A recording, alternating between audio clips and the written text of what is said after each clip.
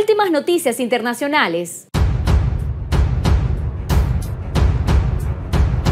Demandan a Biden por detener el arrendamiento de gas y petróleo en tierras federales.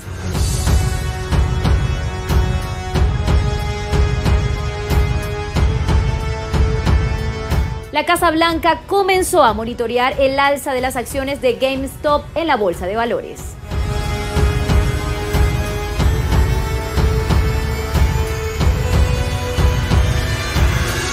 Hola, ¿qué tal amigos? Bienvenidos una vez más a nuestro canal de noticias internacionales. Como lo hacemos a diario, te traemos reportes informativos sobre lo que está aconteciendo en nuestro planeta. Hoy, como ya les hemos anunciado, vamos a seguir abordando las consecuencias de las acciones más recientes que ha tomado la nueva administración de los Estados Unidos y también algunos hechos que están ocurriendo en la bolsa de valores y que de alguna manera pueden afectar la economía estadounidense y también la economía del mundo. Esta sección es patrocinada por Monfex. ¿Alguna vez ha intentado comerciar con Monfex? Monfex es verdaderamente un avance en el mundo financiero. Monfex es una plataforma de inversión con más de 200 instrumentos de comercio. Aquí puede comercializar con criptomonedas, divisas, acciones, índices y otros productos. Todo en un mismo lugar. Es fácil de entender, no debe ser usted un experto en finanzas ni un inversor para convertirse en comerciante dentro de Monfex. Monfex tiene una interfaz muy fácil de utilizar, lo puedes usar en tu dispositivo, en tu computadora, en tu computadora portátil, en tu tablet o desde tu celular. Es una de las plataformas más modernas a nivel mundial. Utiliza poderosas herramientas para maximizar tus ganancias potenciales.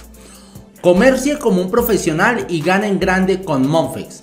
Haga clic en el enlace de la descripción de este video para registrarse dentro de la plataforma. La primera información está relacionada con una demanda que recibió la administración de Joe Biden por la orden ejecutiva de detener el arrendamiento de petróleo y gas en tierras federales. La demanda fue presentada en el Tribunal del Distrito de Estados Unidos en Wyoming por la compañía Western Energy Alliance, un grupo que representa a los productores de combustibles fósiles en tierras federales. De acuerdo con esta demanda, lo que hizo Joe Biden fue excederse en su autoridad al tomar esta orden ejecutiva reciente. La presidenta de esta alianza, Kathleen Gamma, señaló a través de un comunicado que la ley es clara. Los presidentes no tienen autoridad para prohibir el arrendamiento de tierras públicas.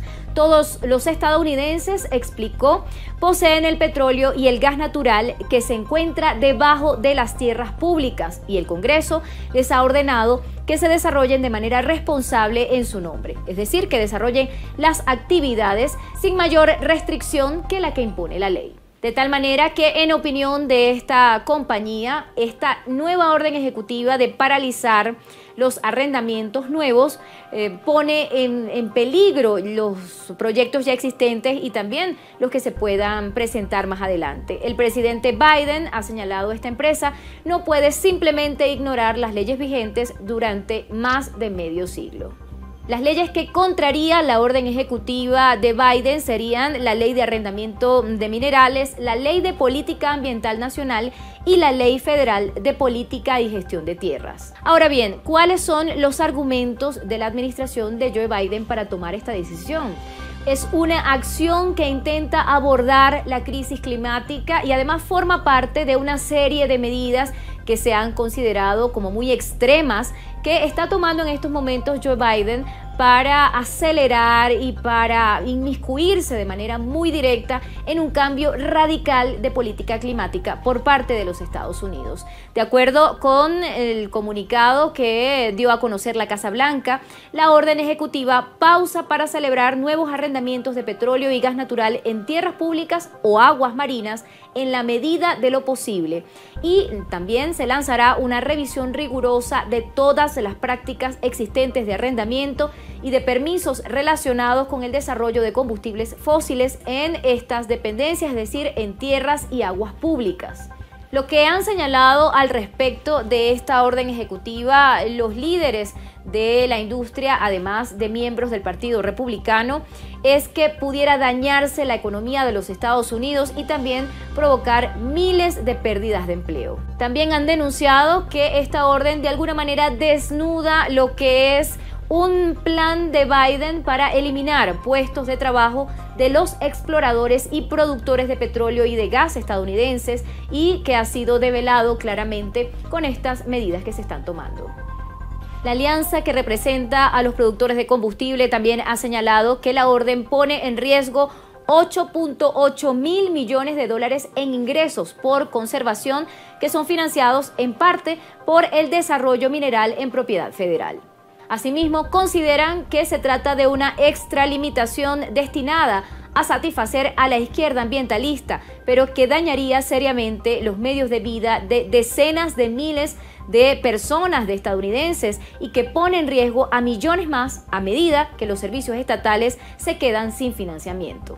Ahora bien, esta orden no afecta de forma directa los arrendamientos existentes de petróleo y gas que pueden durar 10 años. Solamente se aplica para los nuevos proyectos que puedan desarrollarse a partir de ahora. En todo caso, amigos, los republicanos en el Congreso ya han afirmado que trabajarán activamente por detener esta agenda y estas propuestas de Biden en el Congreso. Pero pasemos a la siguiente noticia y está relacionada con una actividad inusual en la Bolsa de Valores de Nueva York, en Wall Street, que ha llamado ya la atención de muchos inversionistas y también de la Casa Blanca. La secretaria de prensa de la Casa Blanca, Jen Psaki, informó que la administración y la secretaria del Tesoro, Janet Yellen, ya se encuentran monitoreando la situación de lo que está ocurriendo en la Bolsa de Valores. Y además señaló que este mercado, el mercado de valores, no es el único que está en estos momentos observado, porque de ello depende la salud de la economía estadounidense. Ahora bien, ¿qué es lo que está ocurriendo y que está llamando la atención no solamente de la Casa Blanca, sino también de los principales inversionistas en el mundo? Aparentemente Wall Street vive una situación bastante inusual que por cierto nos explican de manera muy detallada las agencias de noticias internacionales. Por un lado están los operadores tradicionales del mercado de valores estadounidense y por el otro lado están los inversores novatos que utilizan plataformas de redes sociales como Reddit para comunicar sus decisiones especulativas. Hasta el momento, los últimos tienen la ventaja, pero en el centro de la pelea se encuentra una cadena de videojuegos muy pequeña y desestimada hasta ahora llamada GameStop, cuyas acciones se dispararon con 116% al inicio de la apertura de la Bolsa de Nueva York de esta semana.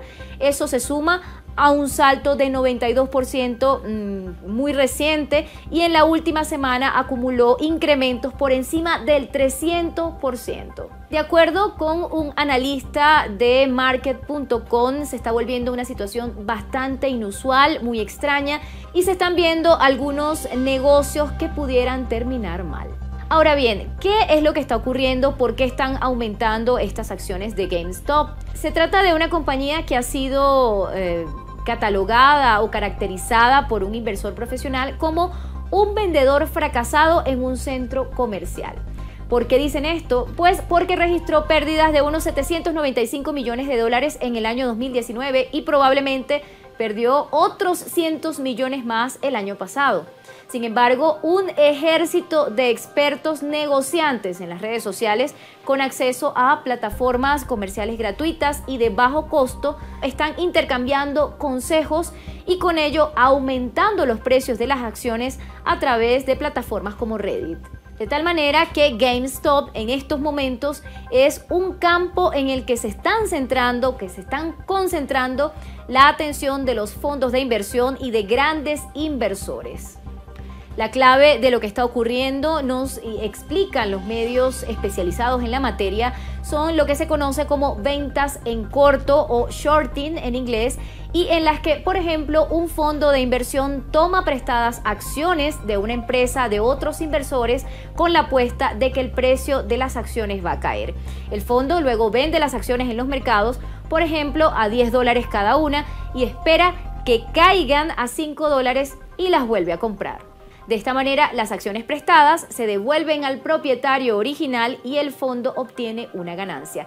Esta es una explicación bastante sencilla de esta teoría. De tal manera, amigos, que estas empresas y estos inversores están jugando con la bolsa de Nueva York para que estas empresas que se consideraban fracasadas, que se, que se consideraban en pérdida, continua puedan de alguna manera recuperar la inversión y beneficiar a algunos grupos. Lo cierto amigos es que esta situación de GameStop sigue dando de qué hablar al punto de que ya llegó esta conversación a la Casa Blanca. Y algunos esperaban que el valor cayera pronto, el valor de las acciones de esta compañía, pero al parecer todavía no lo hará, pues Elon Musk, el cofundador de PayPal, acaba de contribuir para que las acciones sigan subiendo y esto mm, definitivamente sigue llamando la atención de los inversionistas y también ahora de la Secretaría del Tesoro estadounidense. ¿Y ustedes amigos qué opinan sobre estas informaciones que les acabamos de presentar? Por favor, dejen sus comentarios acá en la caja de comentarios. Y si les gustó el video, regálennos un like. Hasta una próxima oportunidad.